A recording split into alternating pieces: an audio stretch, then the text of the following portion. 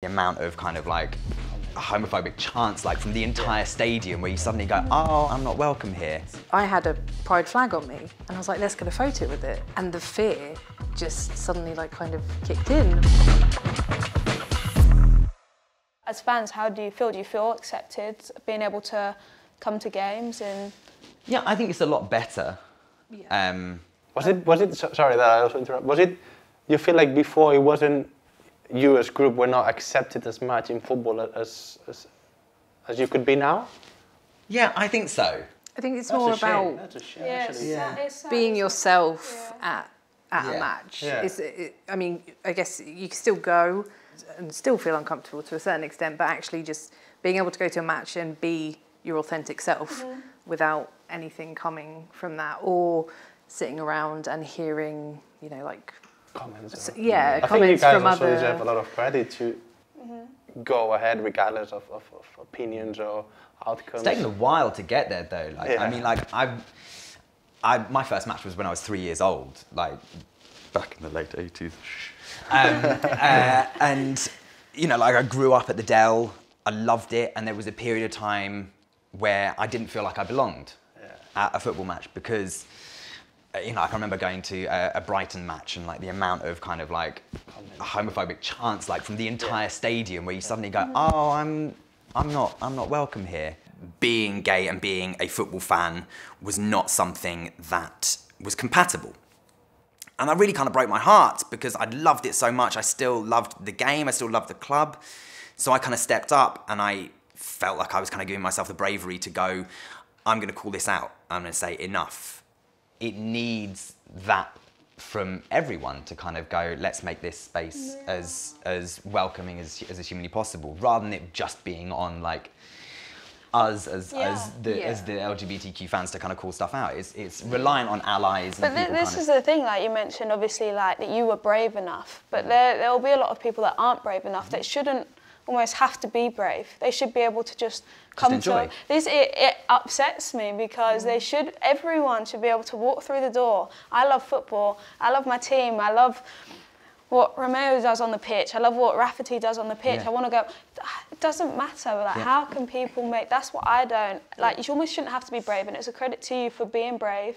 But it's also a credit to what you're doing now because for girls, boys that are 10 years old now, any age, whatever they want to be, they should be able to walk into St Mary's and go, I love Southampton Football Club. I mean, it's kind of baffling because I, you know, considering how much we've already done with Rainbow Saints, I think we had this conversation the other day. Um, we came, a load of Rainbow Saints came to the uh, Palace match, um, and we said I had a pride flag on me, and I was like, let's get a photo with it, and the fear just suddenly like kind of kicked in, and we were just a bit like, That's that's.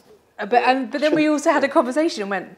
Well, no, wait. This is why we're doing this because we shouldn't feel like this. and there's still that kind of culture of going, oh, but someone might say something, something. There's beer around, someone might throw something. You- Yeah. You still have that tension that kind of comes up. because it's still a society thing. Yeah, yeah, yeah, It's yeah. not. It's not just football. It's, it's more about education and starting those stories and not about having arguments and debates and people getting angry and heated. It's about just having these conversations and looking at where one side's coming from and where the other side's coming from and how we can move forward together. Personally, I've felt. I've always felt comfortable at St Mary's. I feel a bit more anxious for like other people, thinking what could maybe happen to them. like my boyfriend would never come to a football match. Has no interest in it because he's had bad experiences with it or whatever. But because i've had so many positive experiences coming to matches and supporting the club um, i want to be i want rainbow saints to be able to kind of go to other lgbtq people this is a really fun environment this is Yeah. a really fun place where you can come and support a club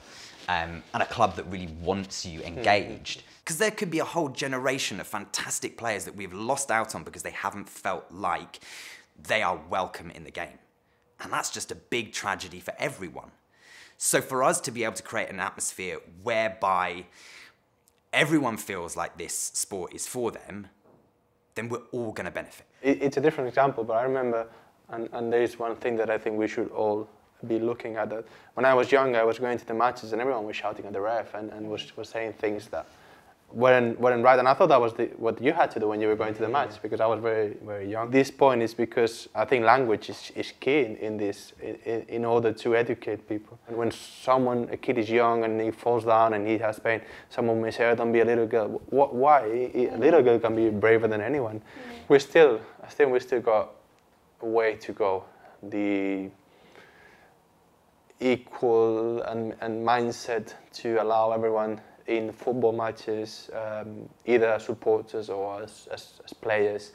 It's getting better, it's, it's, it's, improving, and I think we're doing a great job, but we've still got, um, um, I would say, a way to go. You can criticize, you can, you can, you can judge things, and, and you can see them badly. You may not like someone, but, but don't go against the way they are or the way whether they, they, they like something or whether they're setting color in, in their skin. That, that's something that you should never attack someone by, and, and, and hopefully we, we're going to improve on that because at the minute there's still cases and there's still things that are happening.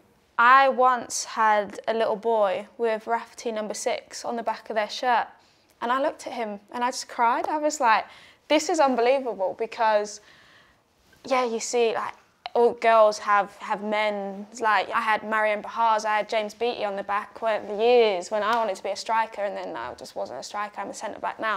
um, yeah, but like to see that like little boys with Rafferty, yeah. and I was like, wow, like this is it took me back and I saw him walking in town in West Quay, not even at a football match, like in a shopping centre, and I was like he's not one bit scared to get scrutinised that that's a female on the back of his shirt. Mm-hmm. And I'm so proud of him. I went up to him and I just, I said, hi, I'm Laura. And he goes, I know you are. And I was like, this is fantastic. And this is the thing what this club should be about and is about. And that's why I'm so for what you guys are doing. And um, yeah, thank yeah, you. That's such, an, such a positive impact on, on uh, that whole family to kind of change a perspective of going, yeah. the, the men's team are as valued as the women's team, the women's yeah. team are as valued as the men's team. That's something I'll always remember. And that's why I think these, these chats are so important. When I personally would be happy is when everyone can feel safe in their own body, going to and from a football game, just to be there to support their club, their people, and and just be happy, you know, all the time in their own skin because that's what everyone deserves to be. I was thinking as well. Is there anything that we as players could do to help? I think it's always speaking out in support. Visibly makes it known to other players that this is a club that um, accepts and uh, actively wants to kind of integrate gay players into the team, whether men's or women's. Being kind of like really positively behind that representation within the club is is a huge thing to talk to those fans who might not be as accepting and going, no, no, this is this, this is the club. This is what we stand for. These are the values that we stand for. Um, and if that's coming from the most visible people in the club, who are the players, that's a huge thing. It's a huge statement to, to fans who are not accepting. It's a huge statement to fans who are a little nervous about coming to a match. That can give a, a huge boost to, to all aspects of it. What you're doing right now is you're trying to make it seen. And when people see it, and they can't get away from it, mm. they start to accept it. And then they realise it actually doesn't have effect on their life mm. if they don't want it to, but it can have an effect on other people's life that then they can come to games and feel good. Mm.